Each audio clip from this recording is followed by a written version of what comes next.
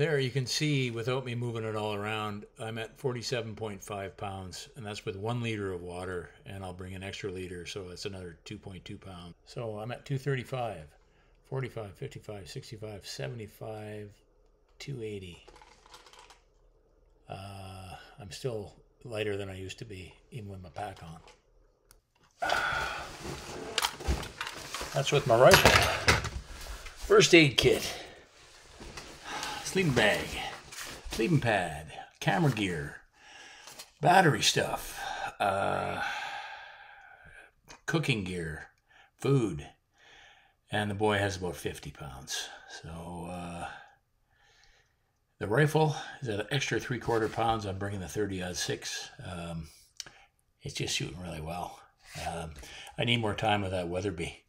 Eventually, I'll bring it because every pound counts, every ounce counts. I'm carrying three and a quarter more pounds of rifle.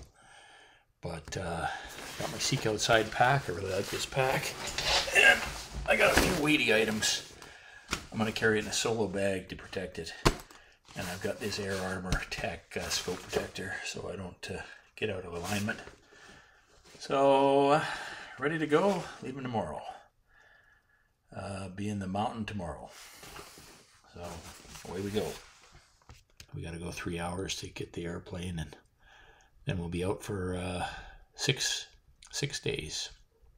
So we got six days of food, and we're going in with about 95 pounds of gear between us. So hopefully we'll come out heavy. I'm still having trouble figuring out a full kernel sheet though, so I'm sure there's stress ahead.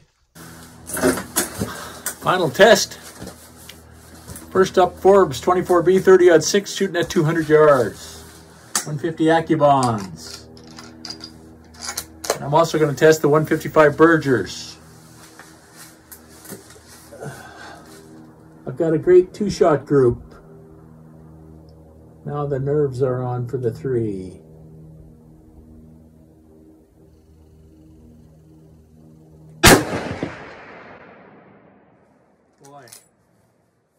Little dot is so easy to so easy to shoot with. I think part of it's going to come down to I love this scope the most of any scope I own.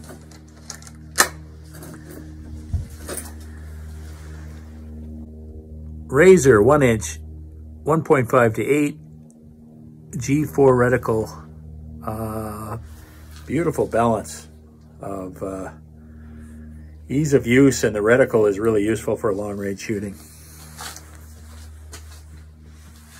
I should have bought three. Noticeably lighter is this Weatherby.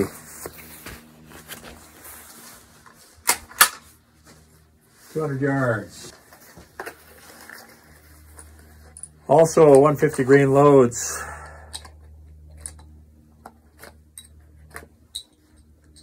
See how it shoots at 200. Even though it's a lot lighter with this uh, brake on it, it really doesn't recoil too bad at all. First shot, try the clanger.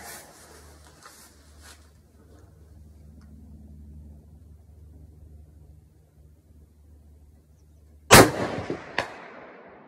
absolutely. Okay three shots. See how it goes. Okay, so there's the 30 at 6 150 AccuBond. That's uh, a two inch uh, dot. So that's under a two inch group at 220 yards. That's with 155 grain um, Bergers. It's an even better group. And as before, it's shooting a little bit to the right. And here's the 280. Uh, that's not the best, two and three quarter inch. So it's uh, just over an inch an MOA. Uh, I find part of the reason for shooting better with the 30 6 is simply that little dot.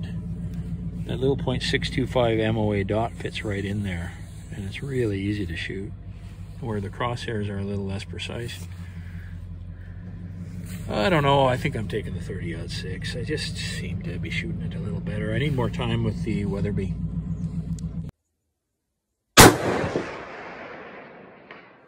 Yeah, I was holding too high the first time.